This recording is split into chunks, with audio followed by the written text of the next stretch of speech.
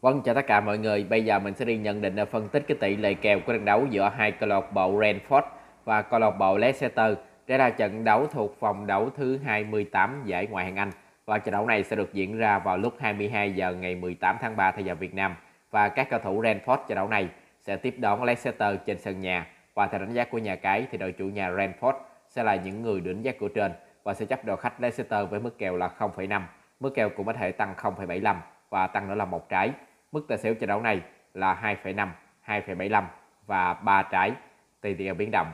Trước khi đi vào nhận định, mong các bạn ủng hộ mình bằng một like video này và một lượt đăng ký kênh nha. Và mình cũng xin thông báo thêm với các bạn là mình có tạo một cái kênh youtube mới tên là Di Review soi kèo. Thì bạn nào quan tâm đến những nhận định của mình để tham khảo các kèo bóng thì mong các bạn ủng hộ kênh mới của mình bằng một lượt đăng ký nha. Mình có để sẵn đường link kênh mới ở bên dưới phần bình luận của video này các bạn cứ việc nhích nhẹ cái màn hình các bạn xuống dưới phần bình luận, sau đó các bạn sẽ thấy một cái đường link màu xanh và ấn vào đường link đó, ấn cho đăng ký là xong. Và bây giờ mình sẽ quay trở lại với cái phần nhận định bóng đá của trận đấu này nha. Năm lần gặp nhau gần nhất của Renford và Leicester thì à, Renford họ không thắng được một trận nào trước Leicester cả. Qua đó họ chỉ hòa được một trận và để thua 4 trận trước Leicester. Năm trận thi đấu gần nhất của Renford thì Renford à, thắng 2 hòa 2 và thua 1 năm trận thi đấu gần nhất của Leicester. Thì Leicester toàn thua cả năm trận và trận đấu này với cái mức kèo thế này. Thì theo nhận định của mình thì à, mình chọn cửa đội chủ nhà Brentford chấp 0,5 hoặc là 0,75 ở trận đấu này. Vì sao? Thứ nhất là nếu mà xét về thực lực ở thời hiện tại thì mình thấy là Brentford họ cũng không thua kém gì Leicester đâu thậm chí là còn đang được đánh giá nhỉnh hơn một chút nữa.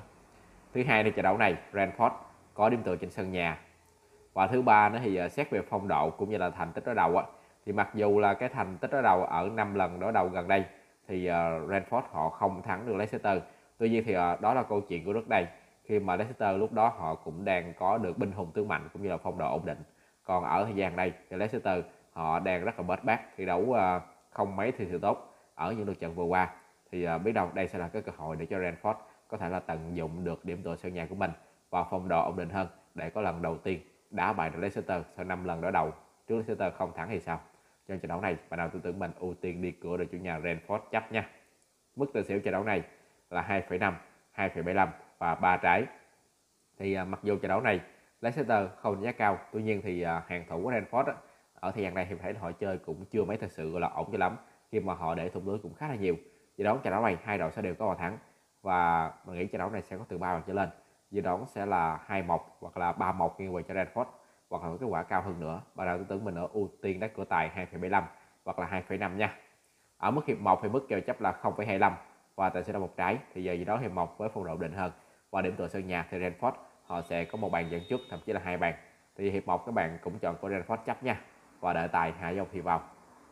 Còn nếu trận đấu này mà các bạn không tin tưởng vào Brentford thì các bạn ưu tiên đá cửa tài không được thật sự thì trận đấu này mình cũng có cái cửa tài hơn. Bạn nào tư tưởng mình hãy có là cân nhắc đá tài không không cần phải vào Brentford đâu. Chúc anh em may mắn nha.